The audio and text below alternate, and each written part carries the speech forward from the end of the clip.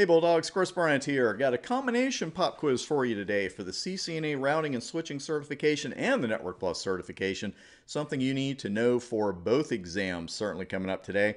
And as always, the pop quiz, it's one question. If you're looking for something a little bit longer, then we've got video practice exams debuting next week here on my YouTube channel where it's three to five questions and usually seven to 10 minutes. So whether you have two minutes or 10, I've got something out here for you to watch. So subscribe today. You can't beat the price either. Now let's head for today's question. In which spanning tree port modes can a port actively learn MAC addresses? Hmm.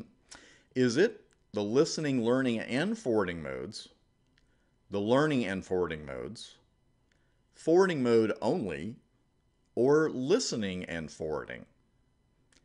And if you want to think about it for a few seconds, you might want to pause the video because I'm literally going to show the answer in about two seconds. One, and there we are. Learning and forwarding are the two port modes in STP where port can actively be learning MAC addresses. And this is where the names can be a little bit confusing because of course you have to know the order of the modes and we'll save that for another question. But with learning, you know, you could look at that and say, okay, you know, it's learning the MAC addresses and that is what it's referring to. But what about listening mode? What exactly is a port in listening mode listening for?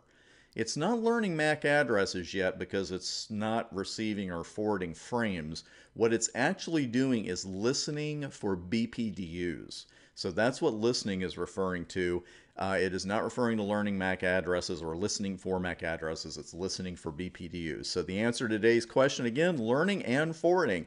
Thanks for taking today's pop quiz. I'll actually have another bonus quiz for you for the CCNA and Network Plus exams later today. And I'll see you over the weekend with some videos as well. As always, thanks for watching and thanks for making my work part of your success story.